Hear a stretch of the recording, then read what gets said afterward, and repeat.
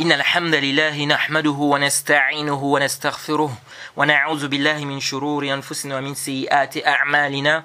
من يهده الله فلا مضل له ومن يضلل فلا هادي له وأشهد أن لا إله إلا الله وحده لا شريك له وأشهد أن محمدا عبده ورسوله أما بعد.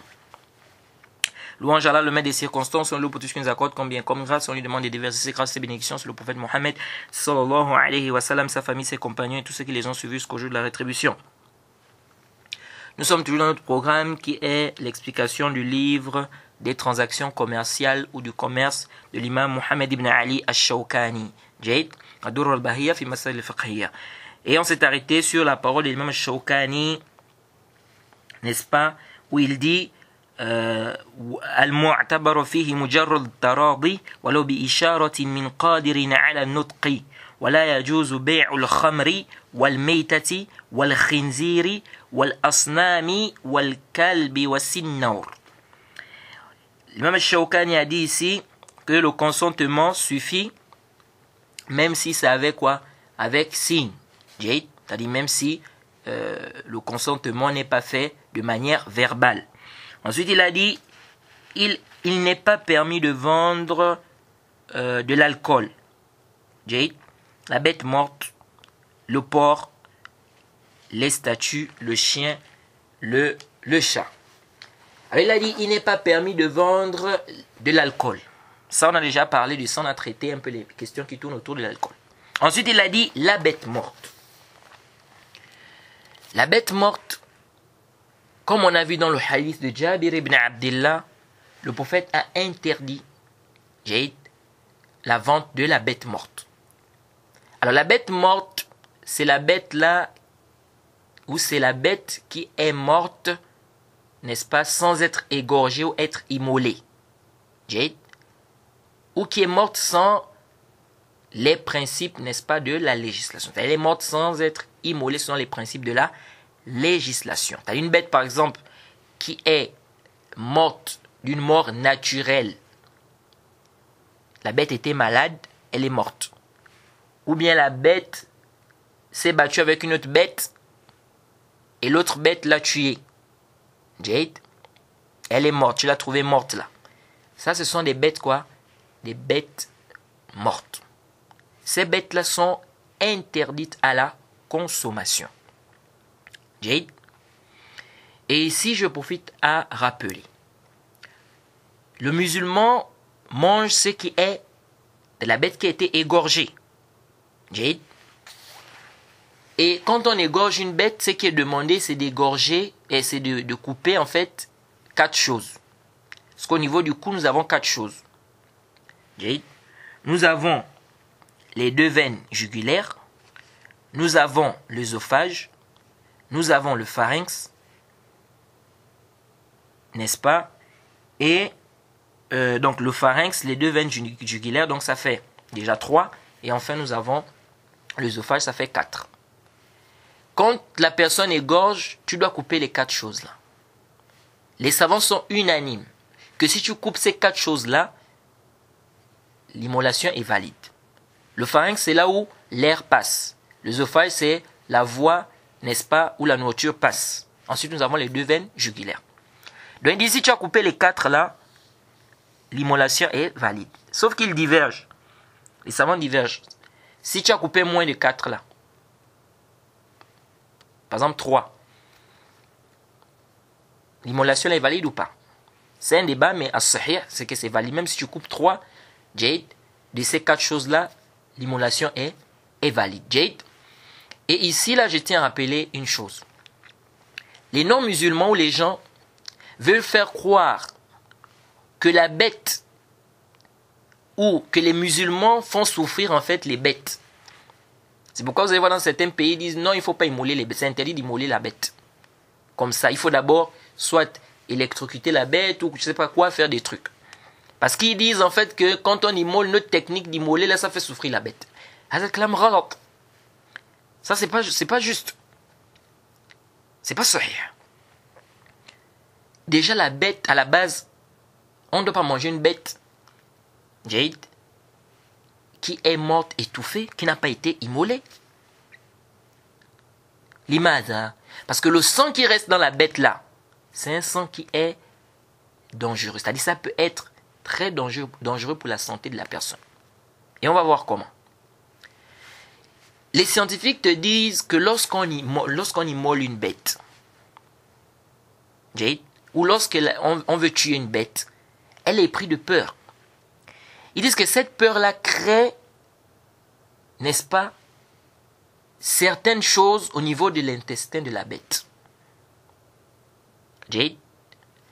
Et ces choses-là qui sont créées au moment de la peur, quand ça se répand dans le sang, lorsque la bête meurt, si ça reste dans le sang, ça peut être nuisible à la consommation. Jade. Raison pour laquelle quand on immole la bête, ces choses-là qui vont se répandre dans le sang, ça va faire quoi? Ça va sortir. Donc on fait sortir ce mauvais sang. Donc ce sang-là ne doit pas rester. Donc on ne doit pas tuer une bête. La bête va mourir étouffée. Le sang là va rester dans le corps, ça va s'éparpiller. Les, choses là vont rester dans le sang, ça va s'éparpiller dans, dans le sang de la bête. Et après on va consommer ça. Là, il faut faire sortir ce sang-là. Maintenant, Intabeorona. Pourquoi ils disent ça que nous on fait sortir, on fait souffrir les bêtes? Parce qu'en fait, pour eux, quand on voit la bête bouger là, ils se disent que la bête est en train de souffrir. Qu'est-ce qui se passe? Pourquoi la bête bouge? Les gens qui ont l'habitude d'égorger, moi je n'ai pas, je n'ai jamais égorgé, mais souvent je vois quand les gens égorgent. Quand les gens qui égorgent là, au début, lorsque tu, lorsque tu coupes, Jade, le sang sort d'abord un peu. Après, ça sort en grande quantité. Qu'est-ce qui se passe? Lorsque tu égorges, lorsque tu coupes les veines là, les veines jugulaires, bien ce que tu coupes ici, au niveau du cou de la bête, une fois que tu as coupé, automatiquement la bête s'évanouit automatiquement la bête s'évanouit. Et de là, la bête ne sent plus rien du tout. La bête ne sent plus rien. C'est pourquoi les scientifiques te disent que lorsqu'on t'étrangle, à un moment, tu vas t'évanouir. Jade. Donc, une fois on coupe, Jade, ces veines-là, la bête s'évanouit aussitôt. C'est pourquoi on demande celui qui égorge, le, couteau doit être tranchant. Pour ne pas faire souffrir la bête, pour que ça soit rapide. Parce qu'une fois que tu as coupé, c'est fini, la bête s'est évanouie. Maintenant, pourquoi la bête bouge Lorsque, lorsque tu coupes les veines là, au niveau du cou, qu'est-ce qui se passe? Le, cerveau n'est plus approvisionné. C'est-à-dire le cerveau n'a plus, ne reçoit plus le sang. Et le cerveau ne, ne, supporte pas un manque, n'est-ce pas, de sang, bien ce manque de sang-là. Qu'est-ce qui se passe? Les scientifiques te disent que le cerveau envoie des signaux au cœur, que j'ai besoin du sang, envoie-moi le sang, envoie le sang. Et qu'est-ce qui se passe? Le cœur c'est en marche. Le cœur décide alors d'envoyer le maximum de sang possible au cerveau. C'est pourquoi à ce moment-là, le sang ne va plus au niveau du bas. Mais ça fait quoi? Ça monte.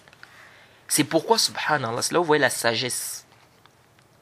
C'est-à-dire, même la technique de l'islam, c'est-à-dire l'endroit même que l'islam a choisi, là on a choisi, là, il faut immoler là. C'est l'endroit idéal. Ici, les scientifiques disent que le cerveau envoie des signaux au niveau du cœur. C'est pourquoi vous voyez la, bête bouger en fait. Ce sont ces signaux-là. C'est-à-dire, le cerveau envoie des signaux au niveau du cœur qu'il a besoin du sang. Le cœur alors fait tout pour envoyer le maximum de sang au niveau du cerveau. Mais qu'est-ce qui se passe? Ce qui se passe, c'est que le sang, là, lorsque ça vient, ça n'arrive pas au cerveau. Donc malheureusement, le cerveau ne reçoit pas ce sang-là. Pourquoi? Parce qu'on a déjà coupé les veines là. Donc le sang là vient où? Ça vient directement, ça ça sort. Jade, ça sort. C'est pourquoi vous voyez la bête en train de, bouger. Mais quand la bête est en train de bouger, elle ne sent plus rien. C'est fini, elle s'est évanouie. Dès qu'on a coupé, là, c'est fini. Donc venez nous dire qu'on est en train de faire souffrir la bête, c'est relote. C'est vous, au contraire, qui faites souffrir la bête avec vos techniques. J'ai Ça, c'est important de comprendre ça, les frères. J'ai Parce que les, non-musulmans, ils viennent avec des trucs comme ça pour embrouiller les gens. Bref. Alors, la bête morte, c'est cette bête-là. Donc, elle n'a pas été égorgée, elle est morte d'une mort naturelle. J'ai une maladie, elle a été étouffée. J'ai elle a bien été cognée hein, euh, par les, les, cornes d'une autre bête. Elle est morte. Ça, c'est les bêtes mortes. Déjà, il faut savoir que les bêtes, toutes les bêtes mortes de la mer sont halal. Pas besoin d'égorger ça. Les bêtes qui vivent dans la mer, même si tu les trouves mortes, c'est halal. Et on a déjà détaillé ça dans le chapitre de la purification. On revient, va pas revenir sur cela. Euh, on va plutôt parler de ce qui est en rapport avec notre sujet ici. Alors la bête morte, elle est impure ou pas.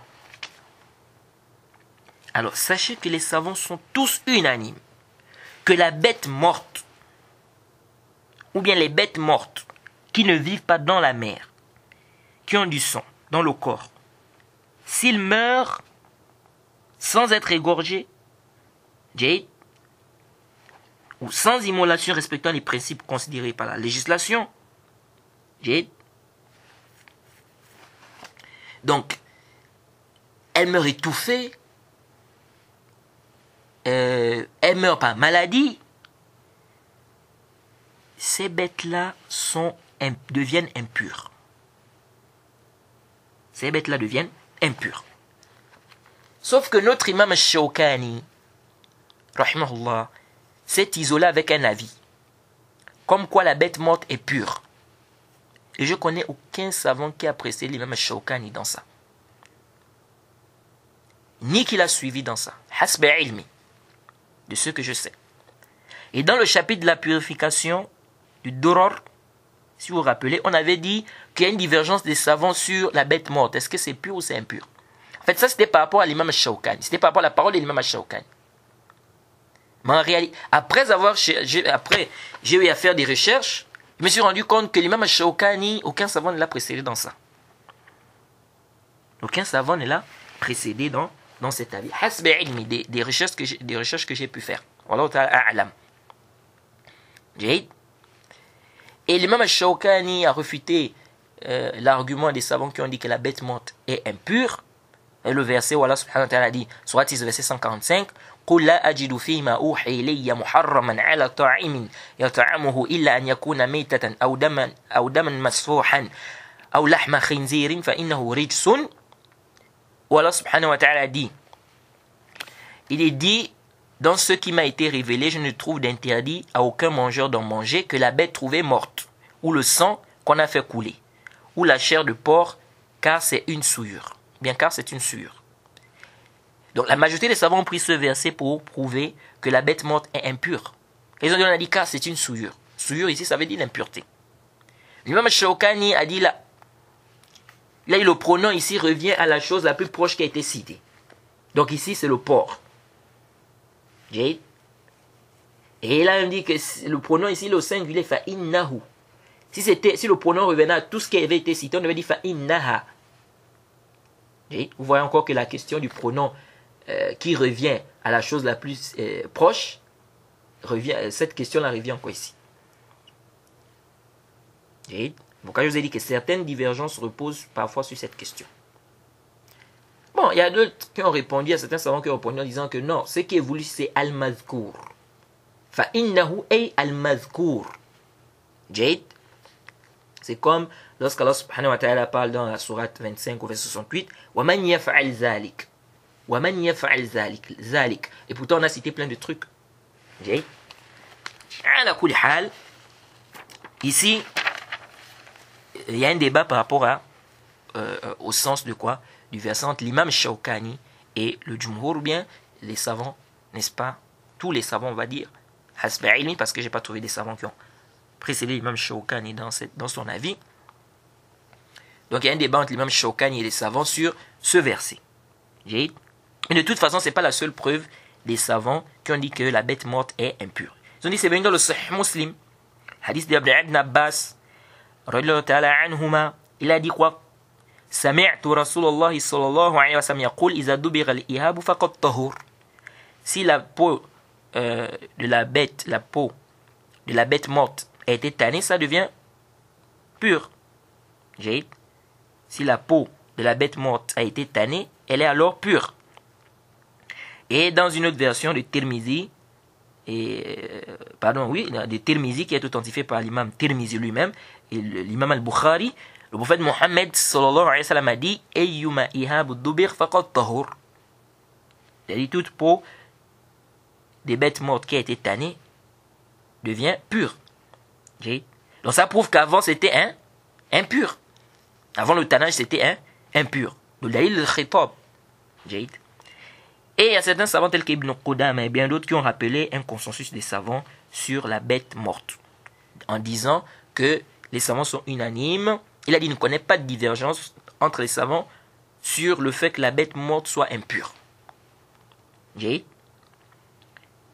Donc, du moment où aucun savant n'a suivi l'imam Shawkani dans cet avis-là, aucun savant ne l'a précédé dans ça, et je connais aucun savant qui l'a suivi dans ça, Jade, ilmi, le mieux est de se limiter à l'avis de tous les savants. Jade, même si, Jade, j'ai regardé un peu les, arguments de l'imam Shawkani, même si les arguments de l'imam Shawkani sont ici des arguments c'est-à-dire les réfutations, on va plutôt dire, de l'imam Shawkani sont des réfutations fortes. Mais, ici, là, on n'a trouvé aucun savant qui a précédé l'imam Shawkani. Hasba ilmi, je n'ai trouvé aucun savant qui a précédé l'imam Shawkani dans cet avis. Wallahu ta'ala a'lam. Donc la bête morte est impure. Sa chair, son sang. Jade. Maintenant, les savants divergent sur les os de la bête morte, les cheveux, les ongles, les cornes. Est-ce que ça aussi c'est impur? Est-ce que ça, ça rentre dans l'impureté? Les Hanafiya ont dit c'est pur. On peut même vendre ça pour certains savants. Donc les os des bêtes mortes, les cheveux, les ongles, les cornes. Je parle même de plumes. Et Ibn, Taymi a soutenu cet avis. C'est-à-dire que c'est pur. Les os, les cheveux, les bêtes mortes, les ongles, les cornes, disent que il, dit, que c'est pur. Sheikh Islam Taymiya a soutenu cet avis.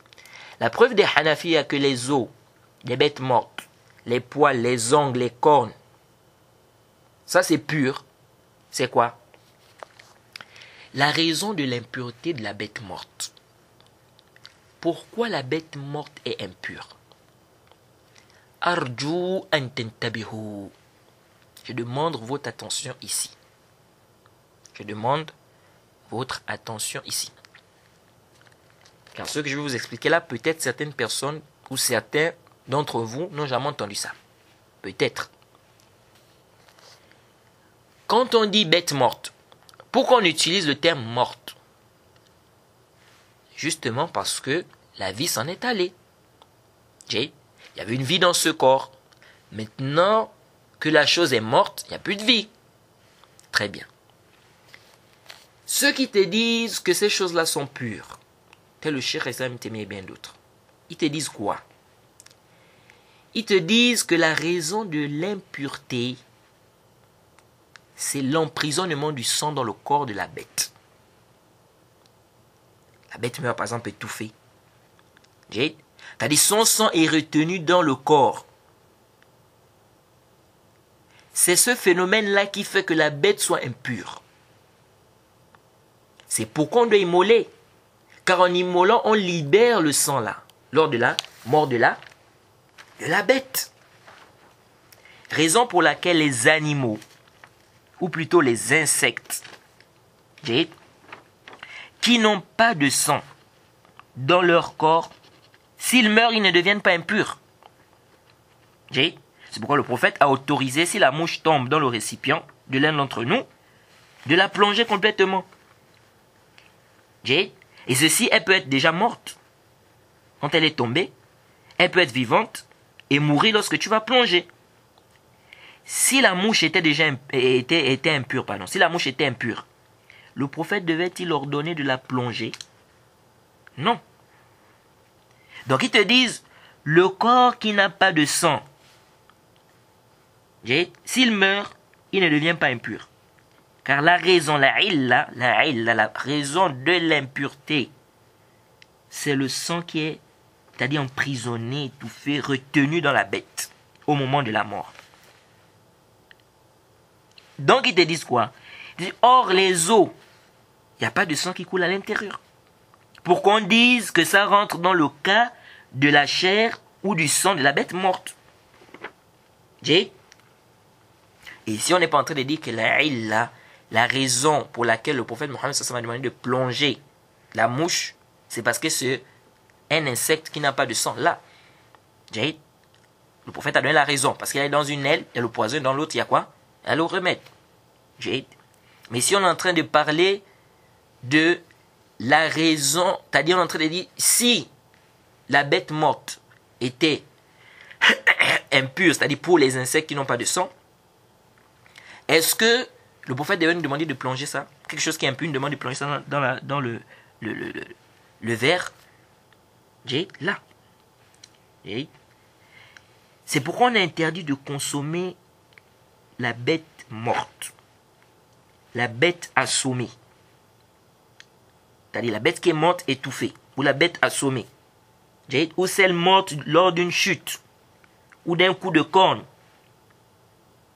Celle qu'une bête féroce a, a dévoré. Toutes ces bêtes-là sont muharrama. Pourquoi? Parce qu'elles vont mourir avec quoi? Il y aura une rétention du sang ici. Il n'y a pas eu immolation ici. Et subhanallah, Ibn Qayyim, Ibn Qayyim rahimahullah, il dit la raison de l'interdiction de la bête morte, c'est pas le fait qu'elle soit morte. Lèche. Pourquoi on a interdit la bête morte Est-ce que c'est parce qu'elle est morte Là. Pourquoi Il te dit que de toute façon, même avec l'immolation, elle va mourir. C'est-à-dire, si tu immoles la bête, elle va mourir ou pas Elle va mourir. Si elle s'étouffe, elle va mourir ou elle elle va mourir ou pas Elle va mourir. Jade, si elle est assommée, elle va mourir ou pas elle va, mourir. Jade.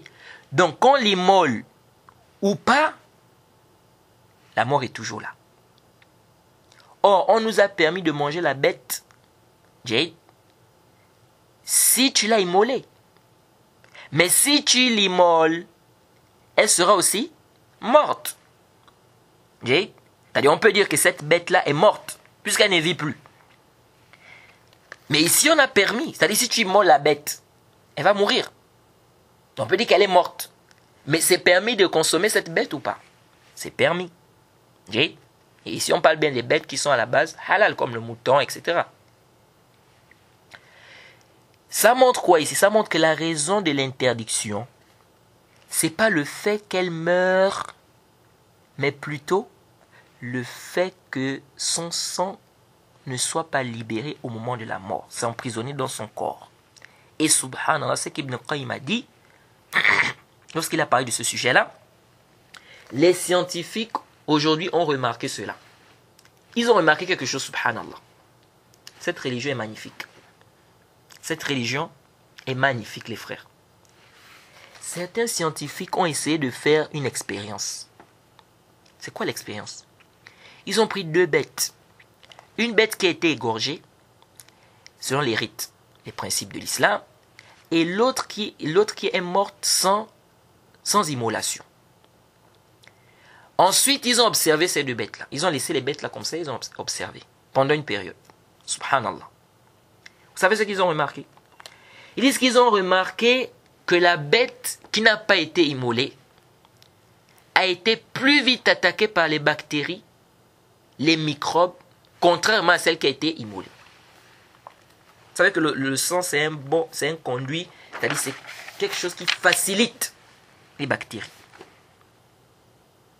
Ça nous montre quoi? Ça nous montre que manger une bête qui n'a pas été immolée. Bien évidemment, on ne parle pas là des bêtes de la mer. Comme on a déjà dit. Manger une bête qui n'a pas été immolée peut être dangereux pour, l'être humain.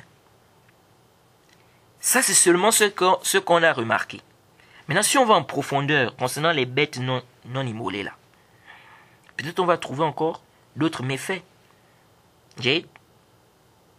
Cette fois-ci même dans l'organisme de l'être humain. C'est-à-dire ceux qui mangent ça. Bêtes qui ne sont pas, qui n'ont pas été immolées. C'est pourquoi ce qu'Allah nous interdit, c'est pour notre propre bien. Et s'il interdit, c'est qu'il y a une sagesse.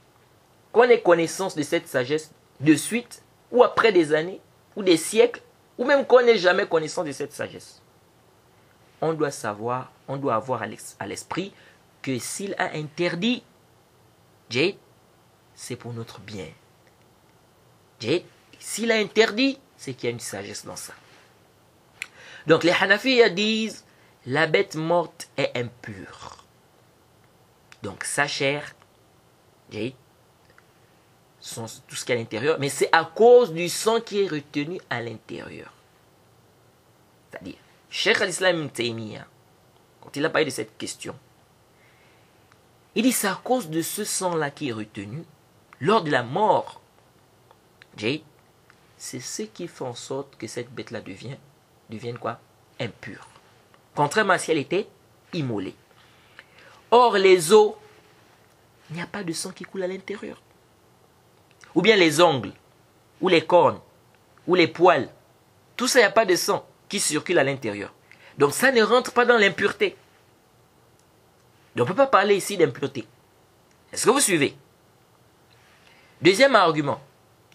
Il dit ces choses-là, les ongles, les plumes, les poils, les cornes des bêtes. Il dit ça n'a pas de vie. Jay, ça n'a pas de vie. Les ongles, les plumes, les poils, les cornes, ça n'a pas de vie. On parle de mort, c'est pour ceux qui ont perdu la vie. Or, ceux qui ne vivent même pas la base, Aslan, on ne dit pas que c'est mort. J'ai.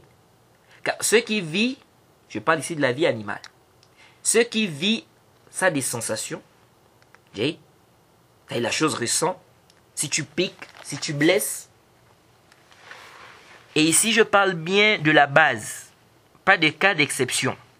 Par exemple, quelqu'un, n'est-ce pas, on lui a mis par exemple l'anesthésie ou quelqu'un est dans le coma, quelqu'un s'est évanoui, là, je ne parle pas de ces cas-là. Ça, c'est des cas, ça, c'est des cas d'exception par rapport à des circonstances. On parle ici de la base, la base de la chose. Si on dit que la chose vit, à la base, ça doit ressentir des coups, des piqûres, des douleurs. Si on pèse, si on pince par exemple, elle doit ressentir quelque chose. La personne doit ressentir quelque chose. Or, les ongles, les cornes, les cheveux, ça ressent des douleurs? Non. Contrairement à la chair, à la peau. Supposons que quelqu'un ait de longs cheveux jusqu'aux épaules ou au dos. Si on prend des ciseaux, on coupe une partie des cheveux là. La personne ressent quelque chose, une douleur? La personne ne ressent rien du tout. La personne ne ressent rien du tout. La personne peut ressentir, si on arrive au niveau de la tête, on touche la tête là parce qu'on va toucher la peau. Jade. Ou bien si on tire ses cheveux. La personne peut ressentir quelque chose parce que ici, on touche la peau, c'est-à-dire on tire, on est les cheveux. Jade. Mais si on prend les cheveux qui sont au niveau du dos, ou au niveau des épaules, on coupe ça, la personne ne ressent rien du tout. Elle ne ressent pas une douleur, un mal, etc. Jade, est-ce que vous suivez? C'est la même chose avec les ongles. Quelqu'un qui a des longs ongles, si on appuie ça, la personne ressent quelque chose? Non. Ou bien on coupe. On coupe l'ongle avec le coupe-ongle par exemple. La personne ressent quelque chose? La personne ne ressent rien, aucune douleur. Par contre, si on veut maintenant couper au niveau, c'est-à-dire on, prend le coupe, on met ça au niveau euh, de la peau là, là la personne va ressentir quelque chose. Mais si par exemple la personne a des longs ongles, on coupe la personne ne ressent rien du tout. Aucune douleur. Il dit ça prouve en fait que ça n'a pas de vie. Mais c'est taba'an, ça suit en fait le corps qui vit. Si on peut parler de vie, c'est une vie semblable à celle des plantes. Et donc ils disent, du moment où ça n'a pas de vie, on ne peut pas parler de mort pour ça. Quand on dit bête morte, c'est ce qui a la vie dans le corps. La chair, le cœur, etc. Il y a le sang à l'intérieur qui circule. Et la, euh, la, chair, la peau, ça, ça ressent des, ça ressent des douleurs.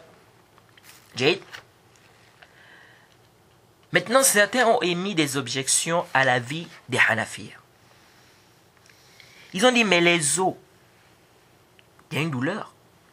Si on appuie, par exemple, ou si on cogne dessus. Non, ceci est une objection pour les os, mais pas pour les ongles ou les poils, les autres choses qui ont été citées. Mais cette, objection-là ne remet pas en cause la vie des Hanafiya. Pour le Cheikh Islam sur les os. Car ils disent il n'y a pas de sang qui circule à l'intérieur. Or, la cause de l'impureté dans la bête morte, c'est quoi? C'est justement la rétention du sang. J?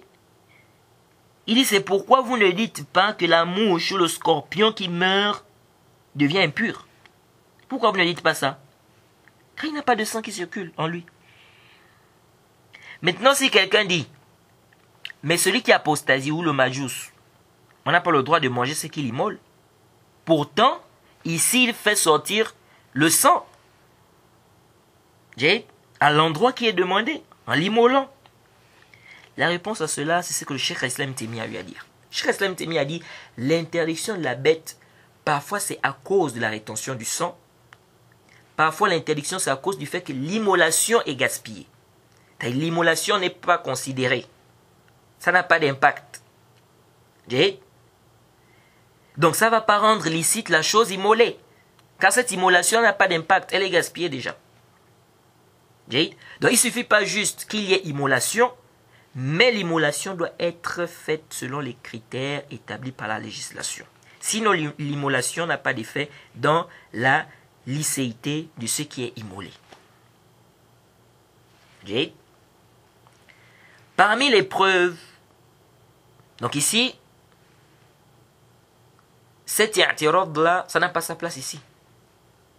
Parce que comme a dit Cheikh Hassan l'interdiction ici, soit on interdit à cause de la rétention du sang, comme on a dit, soit on interdit parce que la personne qui immole, son immolation n'est pas valide, n'est pas considérée.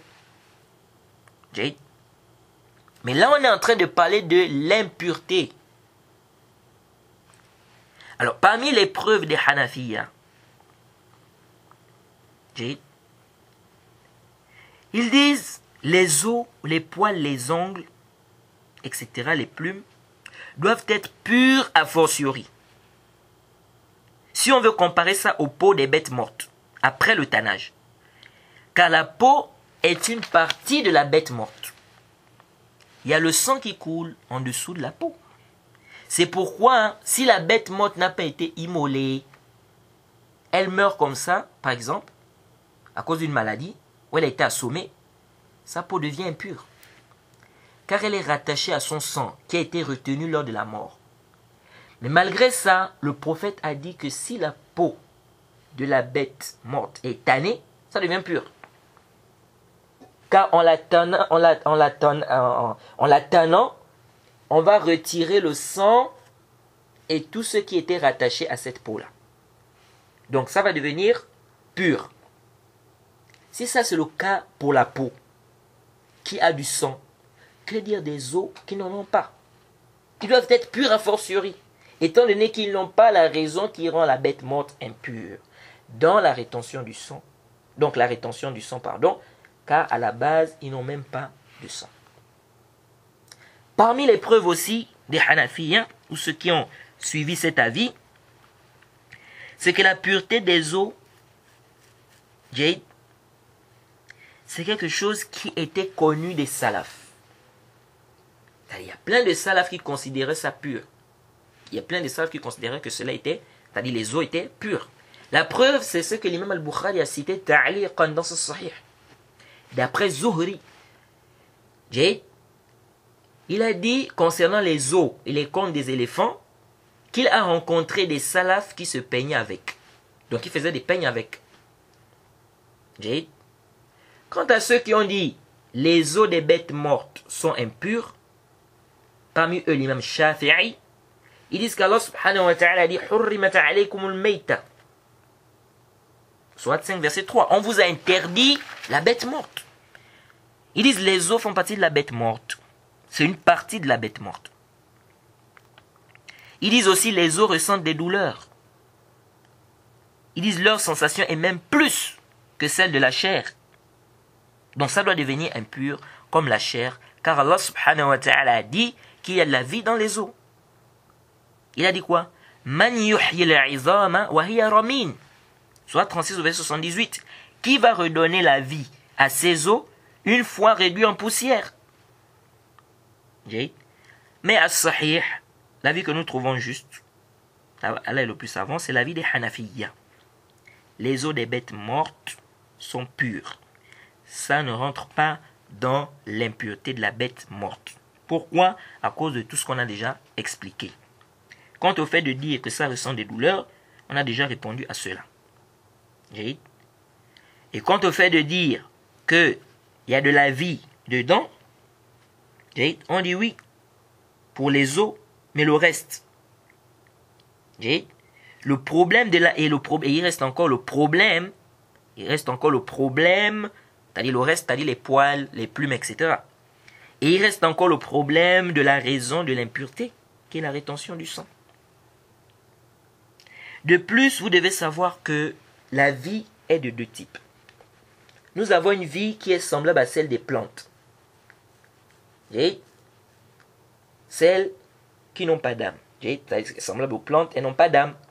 Elles n'ont pas de sensation, de mouvement volontaire. Et nous avons la vie, parce qu'on dit la plante vit aussi. Mais c'est quelle vie? C'est pas une vie comme la vie des êtres humains ou des animaux. Ensuite, on a la vie de ceux qui, ont, ceux, qui ont, des âmes. Et la particularité de cette vie se trouve dans quoi? Les sensations, les mouvements volontaires, etc. C'est pourquoi les savants divergent même. Quand est-ce qu'on insuffle l'âme dans le ventre de la maman?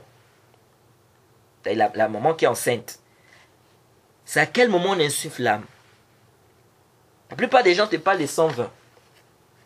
Jay? On parle de 4 mois, etc. Mais il y a d'autres savants qui te disent non. Et moi, je penche plus vers la vie de ces savants-là.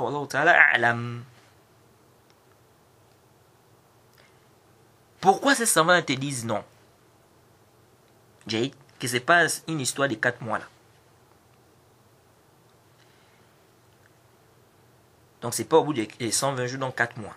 À cause de quoi? À cause de cette, déjà à cause de certains textes qui sont venus dans le Sahih muslim, parce qu'il y a une divergence au niveau des riwayat.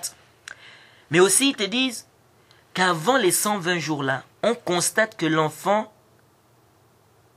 déjà fait des mouvements dans le ventre de sa mère. L'enfant bouge déjà dans le ventre de sa mère avant les 120 jours-là. Il dit donc ça prouve qu'il y a bel et bien une vie déjà. Mais comme on dit, on va insuffler l'âme, on n'insuffle pas l'âme avant les 120 jours. Jay? Et ça, c'est une chose qu'on ne peut pas réunir. C'est-à-dire, avant les 120 jours, Jay, l'enfant peut déjà commencer à bouger dans le ventre de la mère. Jay, l'enfant peut déjà faire des mouvements dans le ventre de la mère. C'est pourquoi Ibn Qayyim a remarqué ça. Ibn Qayyim, comme je vous ai dit, Ibn Qayyim a fait médecine. Qu'est-ce qu'Ibn Qayyim a dit? Il a dit, parce qu'il est d'avis de la majorité des savants, concernant les 120 jours. Jade, donc les 4 mois là. Mais qu'est-ce qu'il a dit par rapport à, cet argument-là? Parce que les savants qui ont dit c'est pas 120 jours, c'est pas un problème de 4 mois ou 120 jours là, c'est bien avant. Ils ont, parmi les arguments, ils ont dit quoi? Ils ont dit l'enfant bouge déjà bien avant. Ça prouve qu'il vit déjà. Qu'est-ce qu'Ibn Qayyim a dit? Ibn Qayyim te dit oui, il y a déjà des mouvements. L'enfant vit déjà. Mais ces mouvements-là sont des mouvements involontaires. Il vit, oui, mais cette vie, c'est une vie qui est semblable à la vie des plantes. Car les plantes vivent, mais sans âme. Ainsi, cet enfant-là vit déjà, il fait des mouvements, mais sans âme. Et donc, cette vie est, assimilable à celle des plantes. Bref, ça c'est un long débat là-bas entre les savants, c'est-à-dire à quel moment on insuffle réellement l'âme du bébé. Et Inch'Allah, peut-être on en reparlera dans, une autre, euh, dans un autre cours. J'ai là facilite un peu plus en détail si l'occasion se présente. Donc c'est pour vous dire ici que les savants ou certains savants te parlent de cette vie qui est semblable à la vie des plantes et nous avons la vie qui est connue, n'est-ce pas, euh, de ceux qui ont des, des âmes. Donc, quand on parle de bête morte, on parle de la sortie de la vie du corps, la vie animale, et non la vie nabatiya, donc celle qui est semblable à la vie des, des plantes. C'est pourquoi Ibn Taymiyyah a rappelé cela, parlant de, euh, lorsqu'il a parlé des, des, poils des bêtes mortes, il a rappelé que leur vie est une vie similaire ou semblable à celle des plantes. Il a rappelé ça dans le Majmur Fatawa au tome 21 à la page 97 à 98. Et vraiment, je conseille les frères de lire les paroles du Cheikh Islam Taymiyyah d'Ibn Qayyim concernant cette question-là. Cette question des os, euh, des, poils, des plumes, n'est-ce pas, des animaux, des bêtes mortes. Est-ce que ça rentre dans euh, le cadre de la bête, de, de l'impureté quand on parle de l'impureté de la bête morte ou pas? Ils ont vraiment fait des bons tafsilat. Donc en conclusion, les poils, pardon, les poils, les os, les cornes, les ongles des bêtes mortes sont purs. Les poils, les cornes, les ongles, ça ne rentre pas dans l'appellation de la bête morte, qui est interdite. Donc on peut se servir de ça pour des, utilités. Et comme on a dit, ça c'est la vie des Hanafiya, Sheikh Islam de Daoud al-Zahiri et de certains salafs. Comme a rappelé Sheikh Islam Ibn Taymiyyah. Ibn Taymiyyah a même dit, parlant des cornes des animaux, quand il a, quand il a dit que c'est pur, il a même dit que c'est la vie de la majorité des salafs. Parlant des cornes, parlant des, des cornes des, des animaux. Et donc on peut également vendre ça car ça ne rentre pas dans l'interdiction. Car l'interdiction ici concerne celle qui a perdu la vie animale et non la vie semblable aux plantes. La plante, si elle meurt, elle sèche, on dit qu'elle devient impure? Non. Donc c'est pareil ici, les poils, les cornes, les plumes, etc. Ta'ala. Les œufs aussi. Les œufs. Ça ne rentre pas dans la bête morte. Donc tu trouves une poule morte, mais qui a des œufs dans son ventre? Les œufs là sont licites, car c'est bien protégé dans la coquille. Il n'y a pas de contact avec le, le sang là qui est retenu dans le corps de la bête morte. Et ça c'est la vie qui est juste. Contrairement, parce qu'il y a aussi un khilaf. Il y a l'imam Malik qui dit non. Les œufs de la bête morte sont impurs car ça fait partie de la bête morte. Mais c'est que les œufs de la bête morte ne sont pas hein, impurs. Donc si je trouve une bête morte, comme par exemple la poule, et qu'elle a des œufs, tu peux consommer ces œufs-là. Elle-même, la poule, tu peux pas parce qu'elle est, est, elle est considérée comme bête morte. Mais les œufs, tu peux consommer ça. Parce que les œufs sont bien protégés dans la, dans la coquille. Donc le sang là qui fait en sorte que cette bête devient impure, n'est-ce pas? Ça n'a pas de contact avec quoi? Ce qui est dans les, euh, dans les œufs. Donc ici, ça ne prend pas l'impureté. Et l'imam Ibn Qudama, dans le Mourni, il a refuté l'imam Malik dans cet avis-là. disant que les œufs de la bête morte, n'est-ce pas, rentrent dans l'impureté parce que ça fait partie de la bête morte. Car, comme on a dit, la raison de l'impureté, c'est pas le simple fait de mourir. C'est pas parce que la bête est morte seulement là. C'est la rétention du sang là, n'est-ce pas? Ce sang là qui reste à, à l'intérieur. Et au moment, de la, euh, au moment de la mort. Et du moment où euh, l'œuf là est bien protégé dans sa coquille, donc ça n'a pas de contact direct avec ce sang là, donc ça n'a pas, on ne peut pas dire que ça devient quoi? Hein, Impur. Ta'ala a'lam. Et euh, une autre question, toujours en rapport avec la bête morte. Sa peau. Est-ce que la peau de la bête morte devient pure si on la tanne? Mais avant ça, est-ce qu'on a le droit de tirer profit de la peau de la bête morte avant le tannage? D'abord, c'est quoi le tannage? Le tannage, c'est un procédé chimique consistant à transformer les peaux en cuir ou autre, en les rendant plus durables et plus souples. Ça se fait en grattant la peau pour enlever la chair, la graisse, le sang. Ensuite, on lave ça avec de l'eau propre. D'autres utilisent du savon aussi. Et on fait sécher ça. Et le, processus euh, du séchage, ça peut prendre euh, jusqu'à une semaine. Et ça dépend du climat en fait de l'endroit. Parfois ils enlèvent les poils, parfois ils n'enlèvent pas les, les poils. Alors, le, le, tannage avant, eh, pardon, le, tirer profit de la peau de la bête morte avant son tannage. Est-ce qu'on peut utiliser, c'est-à-dire je trouve une bête qui est morte, est-ce que je peux utiliser sa peau? Même si je n'ai pas encore tanné ça. Pas manger, hein, parce que c'est impur. Mais est-ce que je peux faire autre chose avec, même si ça n'a pas, encore été tanné? La majorité des savants disent que c'est interdit. Jay, tu n'as pas le droit de vendre. Jay, déjà ils disent tu n'as pas le droit de vendre les peau ou bien la peau de la bête morte avant le tannage. Ça, c'est la vie de la majorité. L'imam Zuhri, l'imam Abu Hanifa, et c'est le zahir de la vie de l'imam al-Bukhari, tu peux vendre la peau de la bête morte même avant le tannage. Donc tu peux profiter de ça même avant le tannage. Ça, c'est le zahir de l'irtiyar de l'imam al-Bukhari. Parce qu'il a mis dans son sahih dans le chapitre de bouillon, chapitre de la vente, il y a dit chapitre Bab Julud Meita Qabla An toute barre Chapitre des peaux des bêtes mortes avant qu'elles ne soient tannées. Ensuite, il a ramené le hadith d'Ibn Abbas, anhu, anhuma, où le prophète Mohammed sallallahu alayhi wa sallam marra, c'est-à-dire, أن النبي صلى الله عليه وسلم مر بشاة ميتة. جيد؟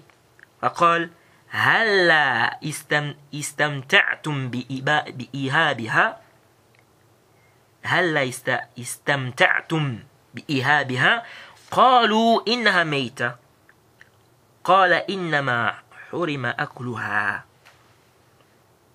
جيد Euh, on est passé auprès du prophète Mohammed sallallahu alayhi wa sallam avec une brebis.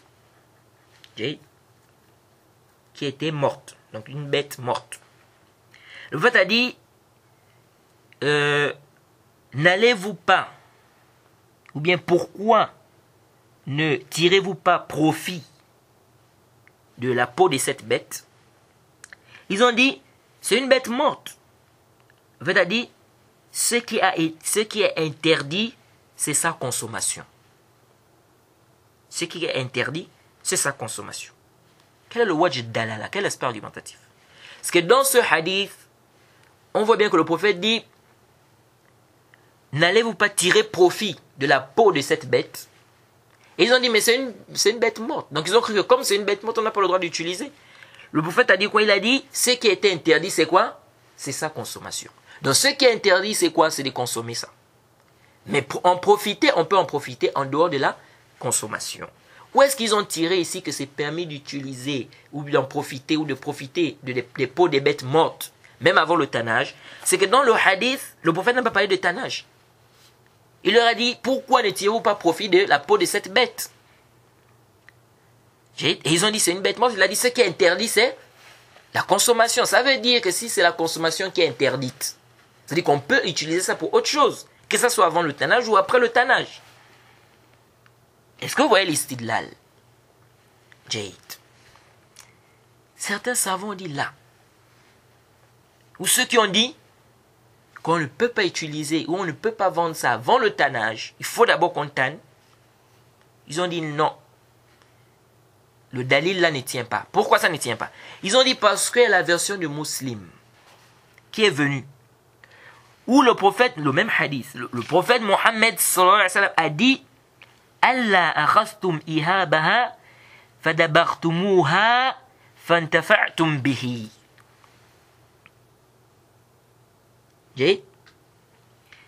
Ils disent que dans, la version de musulman, le prophète a dit Pourquoi ne tannez-vous pas? Ou pourquoi ne la tannez-vous pas Et n'en tirez-vous pas profit? Pourquoi ne la tannez-vous pas Et n'en tirez-vous pas profit? Donc ils ont dit ici, on voit bien que dans le même hadith, dans la version de Muslim, le prophète a bien parlé de tannage. Il dit pourquoi ne la tannez-vous pas et n'en tirez-vous pas profit? Donc il faut d'abord tanner. Donc la version qui a dit pourquoi n'en tirez-vous pas profit? On doit comprendre cette version à la lumière de la version qui a précisé le, le tannage. Donc ça veut dire ici qu'avant le tannage, on n'a pas le droit de faire quoi? De vendre ou d'utiliser la, peau de la bête morte. Jade? Mais as-sahih Wallahu ta'ala a'lam, c'est l'avis de l'imam al-Bukhari et du Zuhri, des savants et des, des savants qui ont dit que c'est permis. Limaza intabihuhuna. La version de Muslim où il y a la précision du tannage, c'est une version fihi kalam. C'est une version fihi kalam. Lesh intabihuhuna. هنا الحديث مداره على الزهري عن عبيد الله ابن عبد الله عن ابن عباس Donc le hadith tourne autour de Zuhri qui rapporte de Ubaidillah ibn Abdillah qui rapporte d'Ibn Abbas. Il y a une divergence au niveau de Zuhri. Jade. Donc les gens qui rapportent de Zuhri ont divergé. Rawahu ibn Uyayna an Zuhri bizikri dibar. Ibn Uyayna, Sofiane ibn Uyayna, il a rapporté de Zuhri le hadith avec l'ajout de du tanage. Donc il a rapporté le hadith, n'est-ce pas, avec quoi? L'ajout du du tannage. Le prophète a dit, pourquoi ne tannez-vous pas, n'est-ce pas, la peau de cette bête et n'en tirez-vous pas profit? Jade. L'imam Malik dans le. Jade. Parce qu'il y a un groupe des élèves de Zuhri qui ont rapporté le hadith, le même hadith, sans citer le tannage. Jade. Parmi eux, l'imam Malik dans le pas. L'imam Malik dans le Muwatta, et l'imam Malik fait partie des élèves, c'est-à-dire parmi les plus grands élèves de l'imam Zuhri, l'imam Malik. Parmi les meilleurs même. Les élèves de Zuhri. Il a rapporté de Zuhri. L'imam Ahmed aussi a rapporté Min Malik. Et Nasa'i aussi dans le Kubra. Ils ont rapporté sans citer, c'est-à-dire l'imam Malik, tous rapportent de l'imam Malik, l'imam Malik lui rapporte ça sans citer quoi? Sans citer le tannage. Parmi les gens qui ont aussi rapporté sans le tannage, Yunus ibn Yazid, comme c'est venu dans le Sahih al-Bukhari, Sahih Muslim, Ibn Hibban. Il fait partie aussi des meilleurs élèves de Zuhri.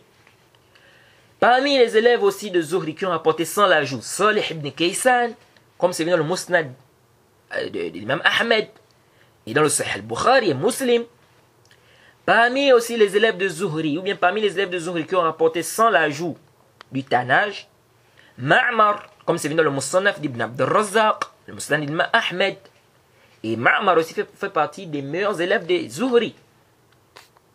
Aouza'i, il a rapporté aussi le hadith de Zuhri dans le Musnad d'Imam Ahmed et Tabarani, sans l'ajout là.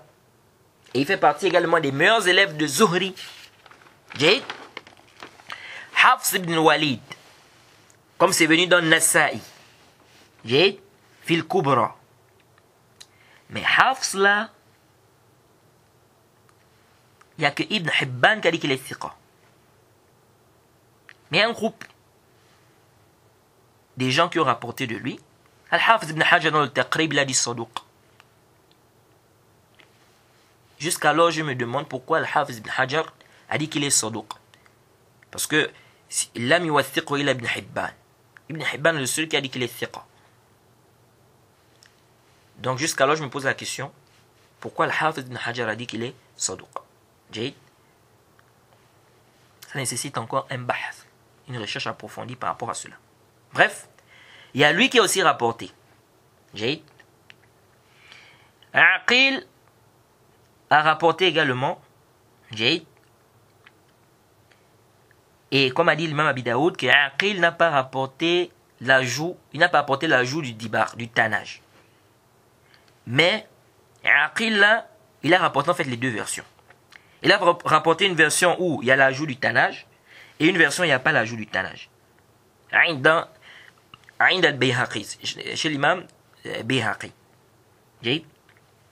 Peut-être l'imam Abi Daoud a vu que la version où, où Aqil a ajouté euh, le tanage, c'est peut-être une version qui n'est pas sahih. Allah ta'ala a'lam. Ensuite, donc ça fait déjà près de 7 personnes. Ensuite, on a Ishaq ibn Rashid, comme c'est venu dans le Mu'jam de Tabarani. Lui aussi, il a rapporté ça sans l'ajout. Donc tout ce monde-là ont rapporté sans citer le tanage.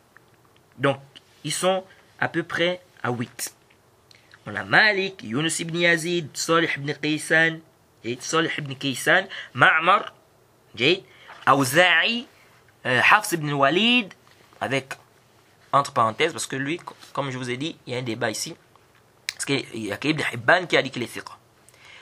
Et Ibn Hibban, il est connu pour être laxiste. On a déjà parlé de ça en détail, même dans le Nuzra, on a expliqué ça. On a Aqil, on a Ishaq ibn Rashid. Donc tous sont rapportés sans l'ajout. C'est pourquoi l'ajout, la version qui a dans Muslim qui amène l'ajout du tanage, cette version-là, fihi nazar. Et parmi les choses qui renforcent que le tanage dans la version de Muslim, c'est Shad, c'est que Zuhri lui-même, il permet, ou il a permis de vendre, d'utiliser le, la peau de la bête morte avant le tannage.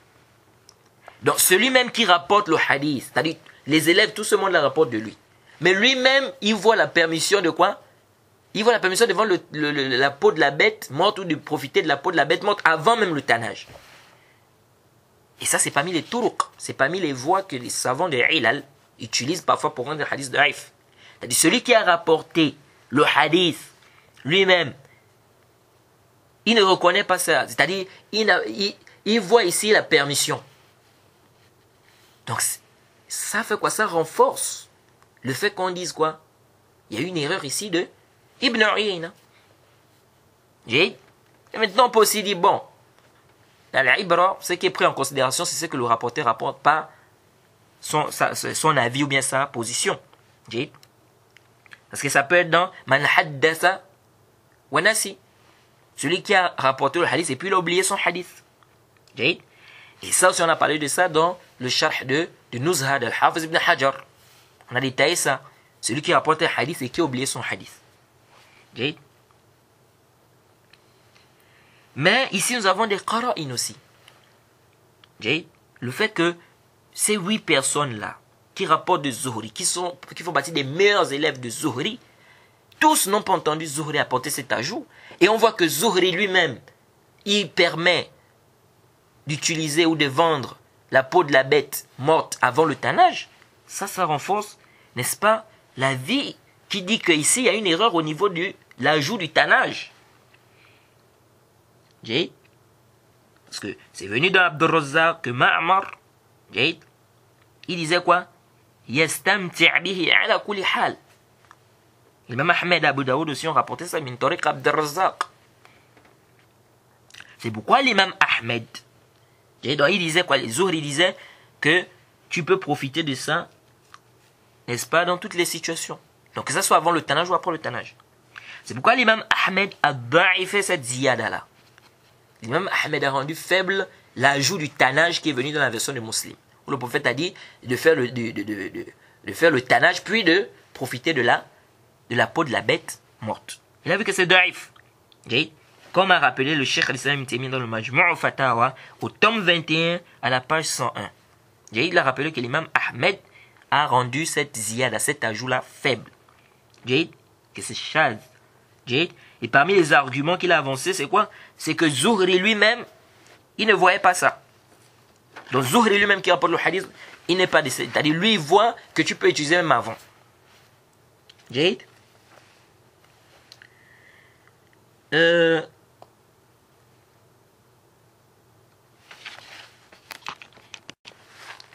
ça a été rapporté dans le Moustad de Humaydi qu'on a dit à Sofiane que Ma'amar n'a pas rapporté cet ajout. Et il reniait le tanage. Sofiane a dit Sofiane a dit quoi? Il a dit J'ai mémorisé ça. C'est comme si Sofiane veut dire que je ne me suis pas trompé. Même si Zohri ne reconnaît pas, n'est-ce pas, c'est-à-dire pour lui, on peut utiliser la peau de la bête, que ce soit avant ou après le tannage, mais j'ai bien mémorisé cet ajout du tannage. Dans le chapitre de la prière, lorsqu'on avait parlé du jugement de bouger le doigt, le fait de bouger le doigt dans la prière, on avait rappelé également une masse Allah, n'est-ce pas Où on avait repris également Sofiane, Jade, crois que c'était le hadith du Janaza. Et il avait dit, sois sûr, je l'ai entendu de Zuhri, de Zuhri pas qu'une fois, plusieurs fois. Parce qu'elle avait dit que Ma'mar n'a pas porté l'ajout que toi tu as porté. Parce que le, hadith, il était rapporté, il y en a qui ont rapporté ça mursal, mursalan, il y en a qui ont rapporté ça jusqu'au jusqu'au compagnon. Et ils ont dit, Ma'mar n'a pas rapporté jusque là-bas. Il a dit quoi? Il a dit Sois sûr, j'ai entendu ça, c'est pas une seule fois, mais plusieurs fois. Et on avait dit ici que. On avait dit que c'était authentique. on avait dit que ça, c'est parmi les qara'in. Et on avait dit que c'est pas tous les coups qu'on voit un, rapporteur qui rapporte un hadith que d'autres n'ont pas rapporté, ou qui a un ajout que d'autres n'ont pas rapporté, on dit c'est chasse automatiquement. Là, on avait dit que on ne rejette pas l'ajout du sirra comme ça de manière absolue, on ne prend pas ceci de manière absolue, et c'est le manhaj des savants des hadiths, que l'Ali ibn al-Medini, l'imam al-Bukhari, hein, et Al-Hafiz ibn Hajar a bien rappelé ça. Il a même dit que ceux qui disent que le mazhab de Bukhari, Darakutni, ces savants-là, c'est de rejeter l'ajout mutlaqan comme ça, là, là ou d'accepter l'ajout mutlaqan comme ça, là. Ils regardent les, les qara'in, les indices. Et là-bas, on avait dit que c'est authentique on avait dit que ça, c'est un indice en fait qui nous montre que ici, l'ajout là est authentique. Mais pourquoi ici on ne dit pas ça? On dit déjà là-bas, on a une table Déjà là-bas, il a dit quoi? Je l'ai entendu plusieurs fois. Donc le fait qu'il ait entendu le hadith plusieurs fois, ça nous, ça, dit, ça nous empêche ou ça, c'est un blocage. Ça nous bloque ici. On ne peut pas dire que c'est chasse comme ça. Ça, c'est un indice qui est fort. C'est pourquoi on avait dit que Zaïd ibn Qudama, quand ils ont dit non, ils ont dit, il a fait l'ajout du tahrik. Le seul qui a mis le tahrik. On avait dit quoi? Zaïd ibn Qudama, il ne prenait pas un hadith, il n'a pas entendu ça trois fois. L'imam Ahmed disait, si un hadith devient des Zaïda, ne pose même plus la question à une autre personne. Jade dit ça, c'est des indices qui montrent que vraiment il a retenu. Jade mais ici, là, il a dit juste, j'ai mémorisé. Donc, c'est pas comme là-bas. Il avait dit, je n'ai pas entendu ça une seule fois, j'ai entendu ça plusieurs fois de Zuhri. Donc quand tu dit, j'ai entendu ça plusieurs fois, c'est pas, j'ai, euh, c'est pas comme s'il te disait seulement j'ai mémorisé. De plus, ici, nous avons près de 8 rapporteurs qui rapportent de Zuhri. Parmi eux, les meilleurs, il y a des meilleurs élèves de Zuhri dedans, parmi eux Malik, Yunus ibn Yazid, bien d'autres. Aucun d'eux n'a porté cet ajout. Et aussi ce qui vient renforcer ça, c'est que même les élèves de Ibn Uyayna ont divergé entre eux. Quant à la version qu'ils ont rapportée de leur professeur Ibn Uyayna. Certains parmi eux ont rapporté de lui ce que les élèves de Zuhri n'ont pas rapporté. Ce que les élèves de Zuhri n'ont pas rapporté. Ibn Uyayna, parfois, il rapportait le même hadith d'Ibn Abbas. Tantôt, il rapportait le hadith de Ibn Abbas de Maimouna. Ceux qui ont rapporté ça de lui, donc d'Ibn euh, d'après Maimouna, sont Abu Bakr ibn Abi Shayba. Comme c'est venu dans le Sahih Muslim. Comme c'est venu dans Muslim, dans le Sahih Muslim. Euh, Ibn Abi Omar, comme c'est dans le Sahih Muslim. Abu Khaythama, comme c'est venu dans Sahih ibn Hibban, le Musnad Abi Ya'la. Ahmed ibn Hamba, dans le Musnad. Musaddad et Wahab ibn Kaysan, comme c'est venu dans les Sunan Abi Daoud. Qutayba ibn Sa'id, comme c'est venu dans les Sunan Nasa'i. Ou dans Nasa'i. Sa'id ibn Nasr, comme c'est venu dans Bihaqi fi Sunan. Al-Humaydi, comme dans son Musnad. Tout ce monde-là ont rapporté d'Ibn Uyayna, de Zuhri, de Ubaidillah ibn Abdullah, d'Ibn Abbas, de Maymouna. Alors que la base, le hadith, c'est de qui? Le hadith, à la base, c'est d'Ibn Abbas. C'est Ibn Abbas. Mais là, on voit qu'il y a un ajout. Ibn Abbas rapporte maintenant des Maymouna. D'autres ont contredit cela. Ils ont rapporté le hadith de Soufiane, mais pas d'Ibn Abbas de Maymouna, non, mais d'Ibn Abbas seulement. Comme les élèves de Zuhri ont rapporté. Donc, Sofiane ibn Uyayna, ses élèves ont divergé. Il y en a qui ont rapporté le hadith de lui, d'Ibn Abbas, de Maimouna. Et il y a d'autres qui ont contredit, qui ont rapporté le hadith de Sofiane ibn Uyayna, d'Ibn Abbas, pas de Maimouna, d'Ibn Abbas. Comme la version des élèves de Zuhri. De qui ont rapporté de Zuhri. Ça veut dire que, ça veut dire que ibn Uyayna, en réalité, tantôt il rapporte le hadith d'Ibn Abbas, tantôt il rapporte d'Ibn Abbas de Maimouna. Ceux qui ont rapporté ça, de, de, qui ont contredit donc, et qui ont rapporté le hadith d'Ibn Abbas, comme la, la, version de, de ceux qui ont rapporté de Zuhri, donc ceux qui ont rapporté d'Ibn Uyayna, donc qui ont contredit ceux-là qui ont rapporté d'Ibn Uyayna, d'Ibn Abbas, n'est-ce pas, la, la, version d'Ibn Abbas de Maimouna, ceux qui ont contredit ça, donc qui ont rapporté de Sufyan ibn Uyayna d'Ibn Abbas seulement, c'est qui? Yahya ibn Yahya, ibn comme c'est mis dans Muslim, euh, Amr ibn euh, Amr al-Naqid, comme c'est venu dans Muslim également. Othman ibn Abi Shayba, comme c'est venu dans les Sunan Abi. Euh, ibn Abi Khalaf, comme c'est venu dans les Sunan Abi Daoud également. Hassan ibn Muhammad, Hassan ibn Muhammad, Hassan ibn Muhammad, Az-Za'farani, comme c'est venu dans Bayhaqi. Ceux-là ont rapporté de Sufyan ibn Uyayna d'Ibn Abbas. Ils n'ont pas ramené Maïmouna. Ce qui est apparent c'est que l'erreur est de qui? L'erreur provient de Ibn Uyayna. On ne peut pas donner l'erreur à, ces élèves-là. Et quand on regarde ici, parce que tous ces élèves-là, il y en a, beaucoup sont des sirkotes, ou c'est des sirkotes. J'ai Naam, Sofiane Ibn Uyayna lui-même, c'est un sirkot. Fait partie des sirkotes. Mais, ici, là, quand on voit que les toulabs divergent comme ça, et ils sont en grande quantité comme ça, ici, là, l'erreur, on va dire que l'erreur provient du professeur. En fait, c'est comme si Ibn Uyayna ici, comme certains savants dit, il s'est embrouillé avec les hadiths de Zuhri et les hadiths de Amr ibn Dinar. Parce que c'est venu dans Muslim que Sufyan a rapporté de Amr ibn Dinar, de Atta ibn Abbas, que le prophète Mohammed sallam, on est passé avec une, une brebis, qu'on a donné à Maïmouna normalement, mais qui fait partie de la Sadaqa, mais qui était quoi? Elle est morte. Et le prophète a dit, pourquoi n'utilisez-vous pas sa peau? Pourquoi ne tannez-vous pas sa peau et n'utilisez-vous pas cette peau? Il y a eu une divergence au niveau de Amr ibn Dinar. Les élèves de Amr ibn Dinar ont, divergé.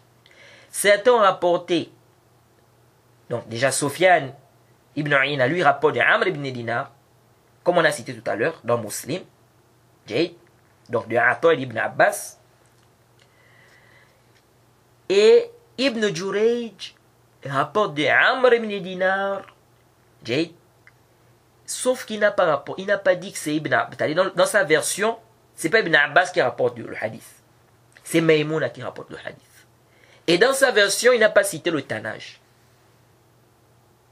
Ibn Jurayj a dit, comme c'est venu dans Muslim, Akhbarani Amr ibn Dinar, أخبرني أخبرني عمرو بن دينار أخبرني عطاء منذ حين قال أخبرني ابن عباس أنا ميمونة أخبرته أن داجنة كانت لبعض النساء رسول الله صلى الله عليه وسلم فماتت فقال الرسول صلى الله عليه وسلم ألا أخذتم إهابها فانتفعتم به جيد Donc il a rapporté, il a dit que Amr ibn Dinar a dit que Atta, n'est-ce pas, a dit qu'Ibn Abbas, Jade, a dit que Maimouna lui a dit qu'on a apporté donc une brebis qui est morte à certaines femmes du prophète qui était déjà morte.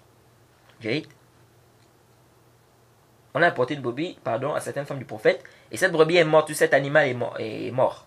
Et le prophète a dit, pourquoi, ne prenez-vous pas cette, sa peau et n'en tirez-vous pas profit Jade.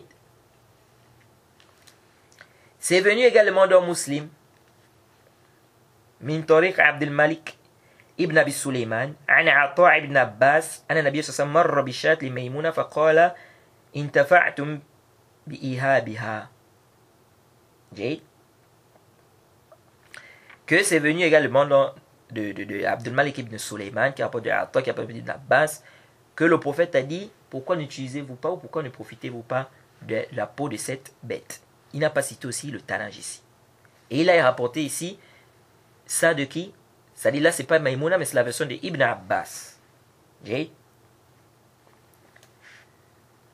Donc quand on voit tout ça, c'est comme si ici Ibn Uyayna s'est embrouillé en fait. Il a rapporté le hadith de Amr ibn Dinar. Normalement, de la version de qui? De Maimouna. Et on l'a contredit aussi dans ça. Donc, c'est comme s'il a mélangé ce hadith de Amr ibn Dinar, où il, a, où c'est-à-dire de Amr ibn Dinar, il rapporte des Maïmoun avec l'ajou il a mélangé ça avec le hadith de Zuhri. Qui dans normalement, même le hadith de Zuhri, il n'y a pas cet ajout-là. Et dans l'ajout qu'il a rapporté encore, on l'a contredit là-bas. Le mabahath, il est long. Euh, ce, cet ajout-là, c'est un ajout qui a des problèmes. L'imam Ahmed, d'arriver cet ajout, a rendu ça faible et c'est comme si l'imam al-Bukhari aussi ne voyait pas l'authenticité de cet ajout parce que l'imam al-Bukhari a rapporté le même hadith mais il n'a pas rapporté cet ajout du tanage et ça ça fait partie des turuq lorsque vous voyez l'imam Bukhari est musulman parfois c'est pas toujours mais parfois lorsque l'imam Bukhari et Muslim rapportent un même hadith, et qu'il y a un qui laisse un love, un terme, il ne ramène pas le, terme là, alors que c'est le même hadith, parfois, c'est parce qu'il ne voit pas l'authenticité de ça. J'ai dit bien parfois, c'est pas tous les coups. Jade. Dans le Zahir, c'est comme si l'imam al-Bukhari ne voyait pas l'authenticité de cet ajout du, du Tanaj, c'est pourquoi il n'a pas ramené cet ajout-là. Jade. C'est pourquoi ici nous disons l'avis qui est juste aller le plus savant, c'est que le, la peau de la bête, n'est-ce pas?